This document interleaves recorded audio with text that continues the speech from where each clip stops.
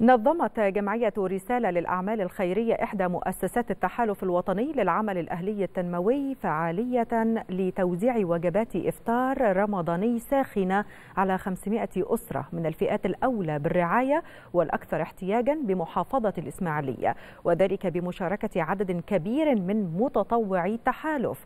يأتي ذلك تنفيذا لتوجيهات الرئيس عبد الفتاح السيسي بدعم الفئات الأولى بالرعاية والأكثر استحقاقا وتماشيا مع جهود التحالف الوطني للعمل الأهلي التنموي وفقا لخطة الحماية الاجتماعية الخاصة بالتحالف والتي تم وضعها لتقديم الدعم اللازم للأسر الأكثر احتياجا.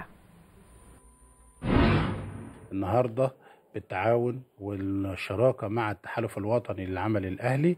بتقدم جمعية رسالة داخل محافظة إسماعيلية 500 وجبة سخنة فطار لأهالينا داخل الأولى بالرعاية داخل محافظة إسماعيلية.